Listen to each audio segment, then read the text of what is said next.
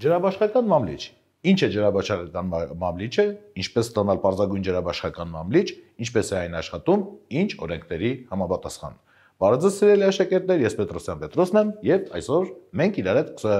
կսովորենք իմ կողմից նշված եւ դեռ նշվելիք հարցերի պատասխանները։ Ուրեմն Ջրաբաշխական մամլիչ։ Ինչ է ջրաբաշխական մամլիչ, սիրելի աշակերտներ։ Հիշենք նախորդ դասերից մեզ ծանոթ հաղորդակից անոթները։ Նկարեմ ձեզ համար հաղորդակից անոթներ պայմանով, որ հաղորդակից անոթների անոթներից մեկի մակերեսը տարբերվի մյուսի տարբեր մակերեսից։ Դիցուկ հաղորդակից անոթներից առաջինի մակերեսը նշանակեմ S1, երկրորդի մակերեսը նշանակեմ S2 եւ դնեմ պայման, որ S1-ը հավասար չէ S2-ի։ Ահա։ Հաղորդակից անոթների օրենքի համապատասխան համապատասխան սիրելի աշակերտներ, հեղուկը, հեղուկի ազատ մակերևույթները գտնվում են նույն մակարդակի վրա։ Հենց մենք հաղորդակից անոթների ազատ մակերևույթները փակում ենք մխոցով, այս այսպես մի քիչ հասնակարը Հաղորդակից անոթները այլևս վերածվում են պարզագույն ջրաբաշխական մամլիչի։ Այստեղից մեր առաջին հարցի պատասխանը, որն է պարզագույն ջրաբաշխական մամլիչ, այսինքն ցանկացած հաղորդակից անոթներ, որոնց մակերեսները իրար հավասար չեն, փակում ենք մխոցներով եւ ստանում ենք ջրաբաշխական մամլիչ։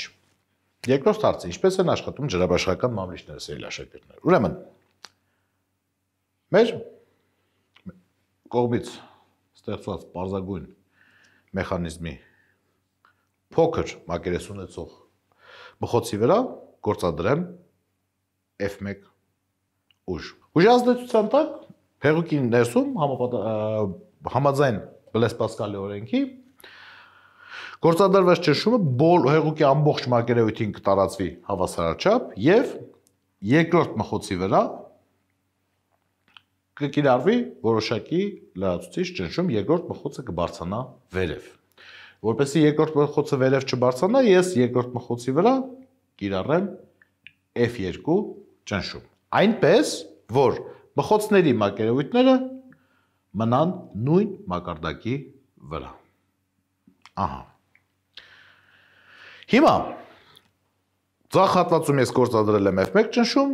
աջ հատվածում F2 ճնշում, այնպես որ նրանք չեն շարժվում։ Այսինքն ամբողջ հեղուկի ներսում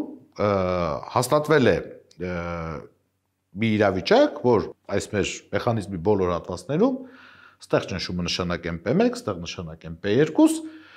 բայց նույն Պասկալի օրենքի համաձայն P1-ը հավասար է P2-ի, այսինքն ամբողջ բոլոր տեղերում P1-ը հավասար է P2-ի եւ հավասար է P։ Հիմա տեսնենք ինչ է կատարվում Այս դեպքում Գրեք ճնշման բանաձև սիրելի աշակերտներ։ P-ն գործադրված ճնշումը հավասար է ազդող ուժ բաժանած այն մակերեսի վրա, որն ազդել է։ Մեր մոտ P1-ը հավասար կլինի F1 բաժանած S1 P2-ը հավասար կլինի F2 բաժանած S2 Եվ քանի որ բոլոր տեղերում ճնշումը նույնն էր, սրանք ես կհավասարեցնեմ իրար, բայց արդեն գրեմ ոչ թե P1-ն է հավասար P2, այլ P2-ն է հավասար P1։ Ինչի մի քիչ հետո կտեսնենք։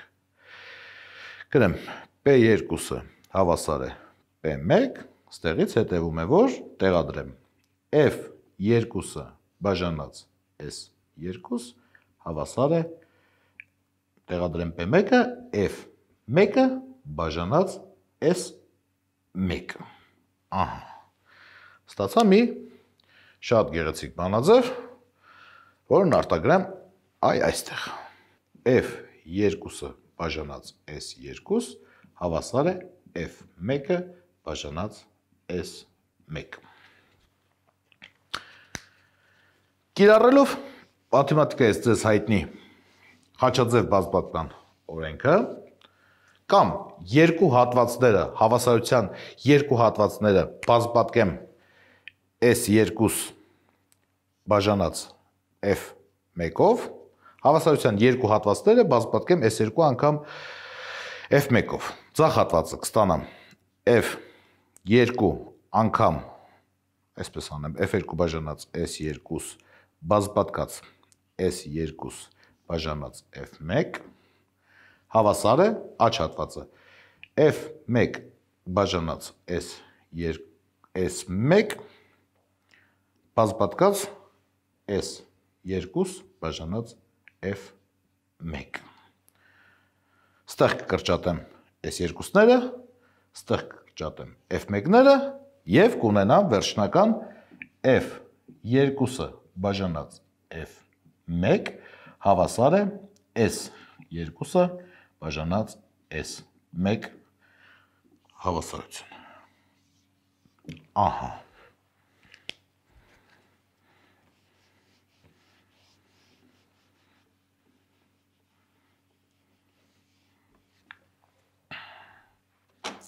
Ինչ ստացվեց, սիրելի աշակերտներ, ստացվեց, որ փոքր մակերես ունեցող հատվածին գործադրված այստեղ կիրառված ուժը մեծ մակերեսի վրա մեծանում է այնքանով, որքանով որ մեծ մակերեսի մակերեսը փոքր է փոքր մակերեսի մակերեսից։ Ենթադրենք փոքր մակերեսի, փոքր մխոցի մակերեսը S1-ը հավասար է օրինակ 0.01 մետր քառակուսի օրինակ։ Եվ փոքր մխոցի վրա կիրառել ենք F1-ն հավասար է 1 նյուտոն ուժ։ Դիցուկ երկրորդ մխոցի մակերեսը F2 S2-ը հավասար է թող լինի հաշվարկների հեշտության համար 10 անգամ ավելի մեծ, քան առաջին մխոցի մակերեսը, թող լինի 0.1 մետր քառակուսի։ Տեսնենք ինչ ուժ կստանանք մենք այստեղ։ Լուծենք խնդիրը F2-ը հավասար է հարցական։ Կատարենք տեղադրումները, կստանանք, որ F2-ը հավասար է, ստեղից սակ բազմապատկենք, կտանենք վերև F1 անգամ S2 բաժանած S1-ի եւ կստանանք, որ F1-ը 1 նյուտոն, S2-ը 0.1 մետր քառակուսի բաժանած S1-ը 0.01 մետր քառակուսի։ Այդտեղ չափումներն էլ գրեմ։ Հաշվարկիչով կատարելով համապատասխան փոփոխությունները ես կստանամ, որ 1 անգամ 0.1 հավասար է 0.1-ի, 0.1-ը բաժանած 0.01-ի հավասար է 10-ի։ Ահա Ինչ ստացեց սիրելի աշակերտներ։ Երբ որ որ երկրորդ մակերեսի բխոցի մակերեսը 10 անգամ մեծ է առաջին բխոցի մակերեսից, ես երկրորդ բխոցի վրա առաջի բխոցի վրա կիրառելով ես 1 նյուտոն ուժ, երկրորդ բխոցի վրա ստանում եմ 10 նյուտոն ուժ։ Հիմա տեսնենք այսպեսով մենք ստանում ենք ուժի շահում։ Մի մի կողմում գործադրելով փոքր ուժ, մյուս կողմում ստանում ենք մակերեսին համապատասխան, որքան անգամ մեծ է մակերեսը, այդքան անգամ մեծ ուժ այս հատվածում։ Ինչ աշխատանք են կատարում համապատասխան մխոցները։ Մի վարքյան ես դες մի հատ ցուցադրություն փոքրիկ ցույց տամ, որ դուք կարող եք նույնը կրկնել տանը, վերցնելով ընդամենը ուրեմն երկու բժշկական ներարկիչ, բայց տարբեր տրամաչ տրամակ ձև, տարբեր չափսերի երկու ներարկիչ ենք վերցնում Մեջը լցնում ենք ջուր եւ փորձում ենք սեղմել ներարկիչների մխոցները։ Ուրեմն մեծ հաստ մխոցը սեղմելը անհամեմատ ավելի դժվար է, սիրելի աշակերտներ, կարող եք փորձել համոզվել ինքներդ, քան աճ մխոցը սեղմելը։ Աճ մխոցը շատ ավելի հեշտությամբ է սեղմվում, ինչի արդյունքում այս հաստ մխոցը շատ ավելի հեշտ է բարձանում վերև։ Հրավիրում եմ ձեր ուշադրությունը, սիրելի աշակերտներ, հետեւյալ Ուրեմն փաստի վրա։ Մեր փոքրիկ ներարկիչը, ես հիմա իր մխոցը կանգնացնեմ 10 մլ-ի վրա, ծավալային առումով 10 մլ-ի վրա։ Նայեք, ստեղ փոքր ներարկիչի վրա 10 մլ-ը այ այսքան բարձրություն է։ Ստեղ, սիրելի աշակերտներ, 10 մլ այսքան բարձրություն է։ Ինչու՞, որովհետև նրանք ունեն տարբեր տրամագծեր եւ համապատասխանաբար նորմալ է, որ մի դեպքում 10 մլ-ը ավելի բարձր է, քան մյուս դեպքում։ Նայեք, երբ որ ես այստեղ իջացնում եմ 10 մլ-ը, մլ-ը, մինչև վերջ, մխոցը ստեղ ինչքան է իջնում ներքև եւ մեծում ինչքան է բարձանում վերև։ Մեծում այն բարձանում է անհամեմատ ավելի քիչ, քան փոքր։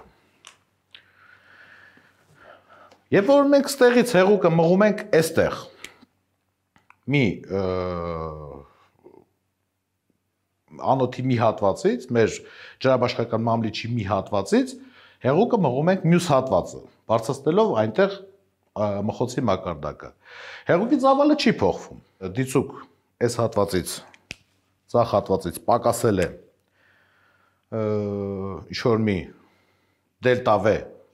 քանակություն, նույն դելտա V քանակությունը ավելանում է այստեղ։ Բայց մենք ստեղ ունենում ենք մակարդակների տարբերություն։ V-ն մի դեպքում հավասար է ուրեմն S1 անգամ H1 ինչքանով որ սա իջնում է, դիցուկ իջել է այսքանով, փոխոսն արդեն եկել է այստեղ, այս դիրքից եկել է այս դիրքը, այսքանը նշանակենք H1-ով եւ այս դիրքից դիցուկ մեծ բխոցը բարձացել է այս դիրք։ Այսքանը նշանակենք H2-ով։ Ուրեմն S1 անգամ H1-ը, որը որ այս այսքան հեղուկի ծավալն է, հավասար է այսքան հեղուկի ծավալ է։ Հավասար է V2 անգամ H ու ներողություն, այս երկու անգամ H2։ Տեսնենք ծրելի աշակերտներ,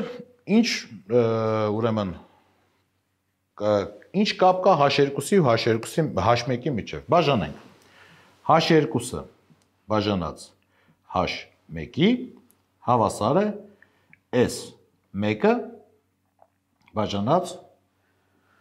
ճիշտ եմ ասում H2-ը բաժանած H1-ի հավասար S1-ը բաժանած S2-ի եւ H2-ը հավասար է H1 անգամ S1 բաժանած S2-ի։ Հիմա մեր նախորդ խնդրի տվյալները տեղադրենք։ Այստեղ տեսնենք ինչ կկատարվի։ Մեր մոտ S2-ը 10 անգամ ավելի մեծ էր, քան S1-ը։ Գրենք։ Որտեղ լրացուցիչ գրեմ։ Գրեմ. S 2-ը հավասար է 10 S1։ Եվ տեղադրեմ սա այստեղ։ Կստանամ, որ H2-ը հավասար է H1 անգամ S1 բաժանած 10 S1-ի։ S1-ները իրար հետ կկրճատվեն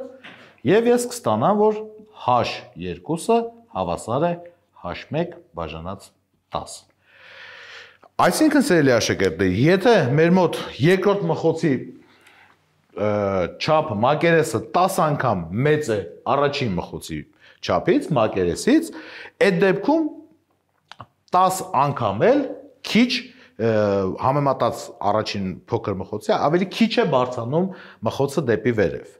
Տեսնենք ինչ աշխատանք է կատարվում համապատասխանաբար երկու դեպքում էլ։ Հիշենք աշխատանքի բանաձևը։ Ինչ էր հավասար աշխատանքը, սիրելի աշակերտներ, աշխատանքն հավասար էր ուժ եւ ուժի ազդեցության տակ կատարած տեղափոխություն F անգամ H։ Մի դեպքում A1-ը հավասար է F1 անգամ H1, մյուս դեպքում A2-ը հավասար է դեպի վեր F2 անգամ H2։ Տեղադրեմ F2-ի արժեքը այստեղից A2-ը հավասար է F2-ի փոխարեն 10 F1 եւ H2-ի արժեքը H2-ն հավասար է H1-ը բաժանած 10-ի։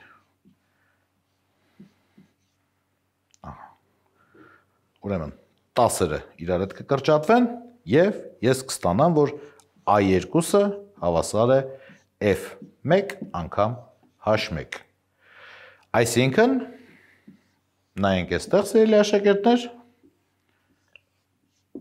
ամեկն էլ էր հավասար F1 անգամ H1։ Այսինքն մենք աշխատանքի մեջ շահում չենք ունենում։ Մենք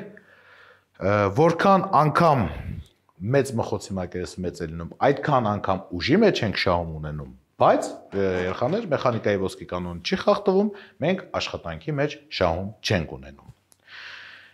Հիմա անցնենք առաջ։ Ջրաբաշխական մամլիչների թերևս ամե երեխաներ ձեր կողմից ավելի հաճախ հանդիպած օրինակը դա սովորական ավտոմեքենաների մամլիչներն են, որի օգնությամբ փոխում են վնասված անվադողները բարձրացնում իջացնում են ավտոմեքենաները։ Հիմա սիրելի աշակերտներ, ես ձեր համար փորձեմ նկարել սովորական ավտոմեքենայի համար նախատեսված մամլիչի օրինակը։ Ուրեմն մխոց մեկ ուրիշ մխոց այստեղ մի հատ փական Հիշում եք սիրելի աշակերտներ, նախորդ դասերից չեմ հիշում որ մեկի ընթացքում ես ձեզ ձեր համար նկարել բացատրել էի մխոցավոր պոմպի աշխատանքի սկզբունքը։ Հիմա նույն մխոցավոր պոմպի աշխատանքի սկզբունքի հիման վրա ձեր համար պատկերեմ ջրաբաշխակ մեքենայի սովորական մեքենայի ջրաբաշխական մամլիչը։ Ինչ է տեղի ունենում ցել երեխաներ, ունենք ստեղ մի բռնակ, որը վերև ներքև ենք կարողանում բարձրացնել, իջացնել, ստեղ ունենք հեղուկ, ստեղ ունենք մի փական, որ բացվում է միայն դեպի վեր ուղությամբ, այսինքն այս փականը չի թողնում, որ ոչինչ գա դեպի ներքև, ստեղ ունենք մի ուրիշ փական, որը բացվում է միայն դեպի այս ուղությամբ։ Հիմա երբ որ մենք բարձրացնում ենք բռնակը դեպի վերև, այս փականը փակ է, հա? Մեր անոթի, մեր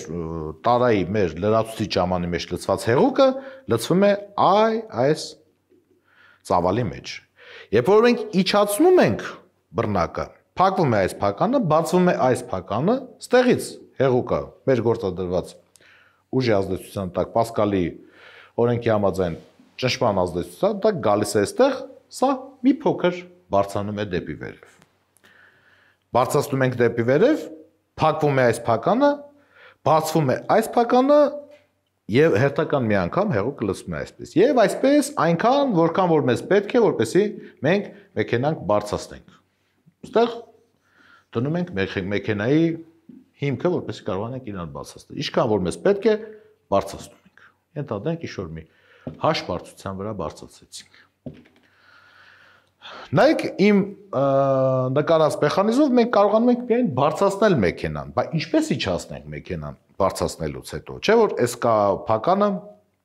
ոչ մի ձևով չէր բացվում դեպի այս ուղությամբ ու չէր թողնում որ այս ուղությամբ հեղուկը հետ գա։ Նույն ձևով նաև այս փականը չէր թողնում։ Շատ բարձր էլի աշակերտն ստեղի, ստեղ արդեն լծված հեղուկը մի ուրիշ առանձին խողովակով միացնում ենք այստեղ, այստեղ դնում ենք բացիչ։ Երբ որ մեզ պետք է, որ ստեղից հեղուկը դուրս չհոսի, փակում ենք եւ լցվում է։ Հենց պես պետք է իջացնել, այսինքն թուլացնել ստեղ ճնշումը, բացում ենք փականը, հեղուկը գալիս լցվում է այստեղ։ Սիրելի աշակերտներ, այժմ ջրաբաշխական մամլիչի առօրյա կիրառության եւս մի քանի օրինակներ։ Դրանցից են օրինակ ավտոմեքենաների արգելակման համակարգերը նույն սկզբունքով են աշխատում։ Տեսած կլնեք ուրեմն էքսկավատորները, որոնք որ աշխատում են, նաև դրանք են նույն ջրաբաշխական մամլիչի սկզբունքով աշխատում, կտրիչները եւ այլ, այլ, այլ ուրիշ մեր առօրյա կյանքում հաճախ հանդիպող սարքեր։ Ուրեմն ջրաբաշխական մամլիչի վերաբերյալ այսքանը, շատ շնորհակալություն ուշադրության համար սիրելի աշակերտներ